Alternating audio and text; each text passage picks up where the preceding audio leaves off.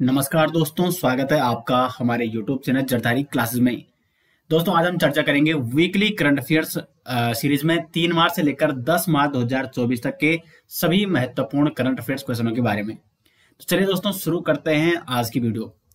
पहला क्वेश्चन है, उत्तराखंड में किसे बेस्ट नैनो क्रिएटर अवार्ड से सम्मानित किया गया? तो पहला का जो आंसर है वो है पीयूष पुरोहित। पीयूष पुरोहित को बेस्ट नैनो क्रिएटर अवार्ड से सम्मानित किया गया है। जानते हैं दोस्तों इस क्वेश्चन के बारे में डिटेल्स तो हाल ही में दिल्ली में आयोजित नेशनल क्रिएटर्स अवार्ड कार्यक्रम में प्रधानमंत्री नरेंद्र मोदी द्वारा कंटेंट क्रिएटर्स को सम्मानित किया गया है। इसमें उत्तराखंड के चमोली जनपद के निवासी हैं पीयूष पुरोहित।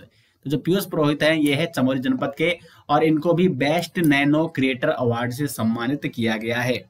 पीयूष पुरोहित कंटेंट क्रिएटर्स हैं और पीयूष पुरोहित अपने क्रिएटिव कंटेंट के ज़रिए उत्तराखंड की लोक कला और संस्कृति को नए क्लेवर के साथ लोगों के सामने रखते हैं और इसलिए इन्हें बेस्ट नैनो क्रिएटर अवार्ड से भी सम्मानित किया गया है। तो किसको किया गया? पीयूष पुरोहित।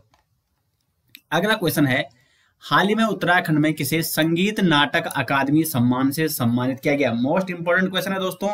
तो इसका सही आंसर है जहूर आलम। जहूर आलम को उत्तराखंड में संगीत नाटक अकादमी सम्मान से सम्मानित किया गया है। नैनीताल के वरिष्ठ रंगकर्मी व युगमंच के संस्थापक और निर्देशक श्री जहूर आलम को भारतीय रंगमंच में निर्देशन के क्षेत्र में महामहिम राष्ट्रपति जी द्वारा संगीत नाटक अकादमी सम्मान से सम्मानित किया गया है। अब प्रश्न यहाँ से ये बन सकता है कि जो जहूर आलम है, उनका संबंध किस क्षेत्र से है? तो वो क्या है? रंगकर्मी है, युगमंच के संस्थापक और निर्देशक हैं। और निर्देशन क्षेत्र में वो कार्य करते हैं। और इसीलिए इन्हें संगीत नाटक अकादमी से सम्मानित किया गया है। उन्हें संगीत नाटक अकादमी की ओर से 2023 के राष्ट्रीय पुरस्कार के लिए चुना गया है। हाल ही में राष्ट्रपति द्रौपदी मुर्मू ने 2022 और 23 के लिए विभिन्न क्षेत्रों के कुल चौरानबे कलाकारों को संगीत नाटक अकादमी पुरस्कार प्रदान किए हैं। और उन्होंने विज्ञान भवन में आयोजित एक समारोह के दौरान सात कलाकारों को संगीत नाटक अकादमी फेलोशिप भी प्रदान की, जिसमें एक संयुक्त तो फेलोशिप भी शामिल है। बढ़ते हैं अपने अगले क्वेश्चन की और हिंदी साहित्य भारतीय संस्था का तीन दिवसीय वैचारिक आयोजन दिल्ली में आयोजित किया जा रहा है। इस कार्यक्रम में उत्तराखंड का प्रतिनिधित्व किसके द्वारा किया जा रहा है? तो इसका सही आंसर हो जाएगा option C doctor Manju Pandey ji द्वारा दिल्ली में आयोजित जो ये भारतीय संस्था का तीन दिवसीय वैचारिक आयोजन है तो इसमें उत्तराखंड का प्रतिनिधित्व कौन कर रही हैं तो डॉक्टर मंजू पांडे कर रही हैं। हिंदी साहित्य भारतीय संस्था का तीन दिवसीय वैचारिक आयोजन कहाँ किया जा रहा है, दिल्ली हंसराज कॉलेज के सभागार में आयोजित किया जा रहा है। और इसमें डॉक्टर मंजू पांडे उदिता शामिल होकर उत्तराखंड का प्रतिनिधित्व कर रही हैं। डॉक्टर मंजू क्या है शिक्षिका और साहित्यकार हैं, जो विश्व स्तर पर हिंदी साहित्य के लिए विभिन्न सम्मान भी प्राप्त कर चुकी हैं। और उन्हें उत्तराखंड राज्य के सर्वोच्च सम्मान तीरू रोतली सम्मान 2023 से भी इन्हें सम्मानित किया जा चुका है और साथ ही साथ शिक्षा के क्षेत्र का सर्वोच्च सम्मान शैलेश मटियानी पुरस्कार 2011 भी ये प्राप्त कर चुकी हैं, डॉक्टर मंजू पांडे। नेक्स्ट यहाँ पे उत्तराखंड में हिमालय कल्चर सेंटर का आयोजन कहाँ किया जा रहा है? तो सही आंसर हो जाएगा देहरादून में। देहरादून में देहरादून में हिमालय कल्चर सेंटर का आयोजन किया जा रहा है। हिमालय कल्चर सेंटर देहरादून में आयोजित किया जा रहा है और इसका आयोजन 8 से 10 मार्च तक किया गया है। उद्देश्य क्या है? तो अधिवेशन का उद्देश्य उत्तराखंड में फिजियोथेरेपी चिकित्सा पद्धति को बढ़ावा देना और साथ में शोध कार्यों को प्रोत्साहन देना है। अधिवेशन का उद्घाटन उत्तराखंड के राज्यपाल लेफ्टिनेंट जनरल गुरमीत सिंह करेंगे और the Indian association of physiotherapists की ओर से इकसठवां वार्षिक अधिवेशन का आयोजन ये किया जाएगा। तो ये अधिवेशन कौन सा है? तो इकसठवां वार्षिक अधिवेशन है ये। नेक्स्ट है क्वेश्चन नंबर पाँच। वर्ष 2023 में दुनिया की सबसे कम प्रजनन दर कहाँ दर्ज की गई है?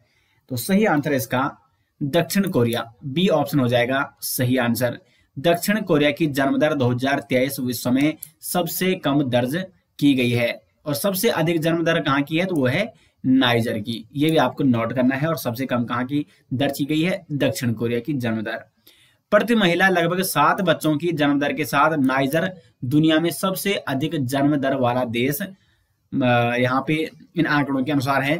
और इसके बाद दूसरा स्थान है माली का 2024 में भारत की जन्म दर 2.122 जन्म प्रति महिला है, जो 2023 से 0.79 परसेंट कम है और इसी तरह 2023 में भारत की जन्म जो दर है वो है 2.139 जन्म प्रति महिला। तो ये भारत की जन्म दर भी आपको नोट करनी है। नेक्स्ट भारत की जन औषधि पहल में शामिल होने वाला पहला देश कौन बना है? सही आंसर इसका मॉरिशस बना है भारत की जन औषधि पहल में शामिल होने वाला पहला देश। मॉरिशस, भारत की जन औषधि पहल में शामिल होने वाला पहला देश बन गया है जिससे मॉरिशस के लोगों को बेहतर गुणवत्ता वाली मेड इन इंडिया जेनेरिक दवाइयाँ उपलब्ध होंगी और उन्हें इनका लाभ भी मिलेगा। और इस परियोजना को फार्मास्यूटिकल विभाग द्वारा वर्ष 2008 में जन औषधि अभियान के नाम से शुरू किया गया है। वर्ष 2015-16 में अभियान को पीएम बीजेपी यानी प्रधानमंत्री भारतीय जन औषधि परियोजना के रूप में इसको नया रूप प्रदान किया गया है। नेक्स्ट अंतरराष्ट्रीय गीता महोत्सव 2024 कहाँ आयोजित किया गया है?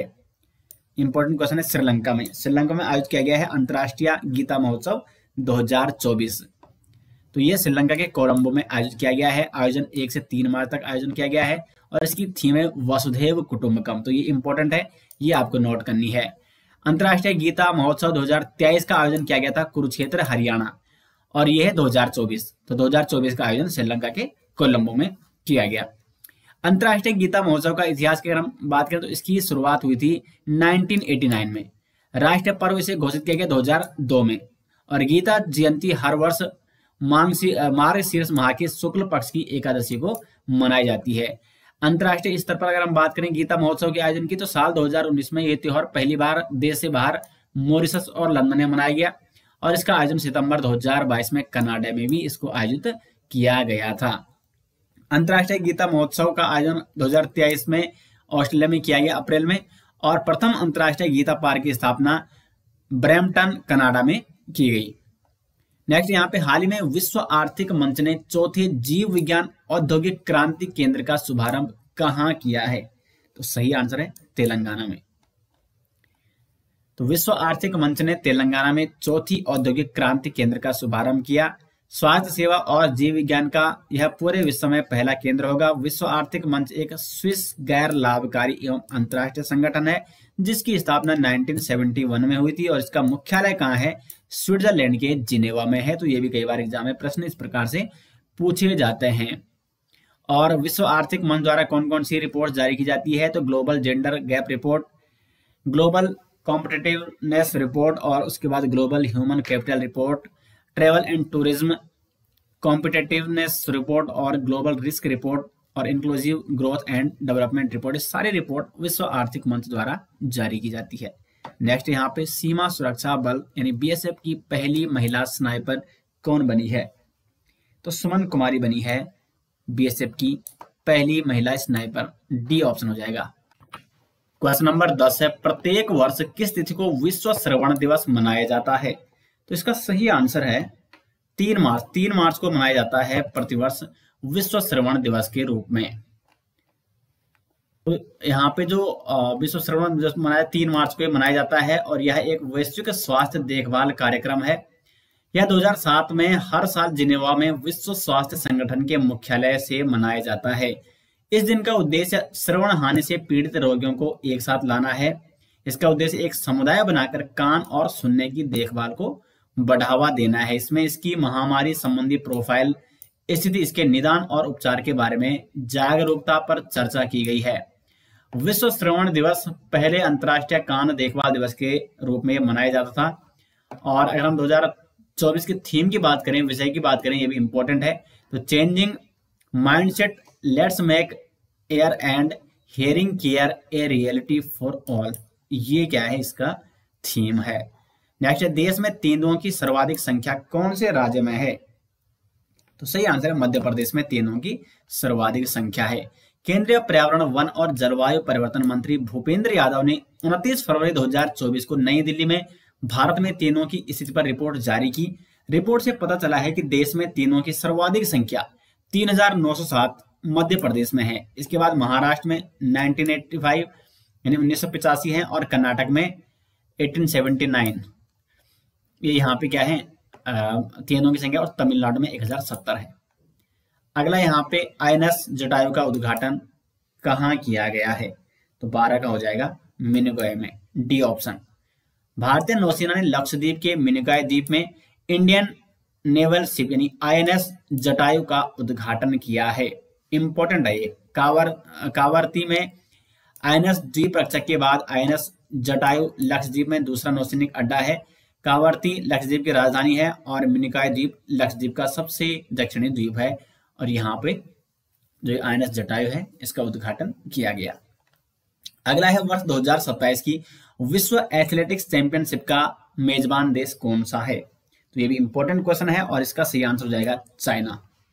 विश्व एथलेटिक्स परिषद ने 2027 विश्व एथलेटिक्स चैंपियनशिप 2027 की मेजबानी के लिए बीजिंग चीन को चुना है।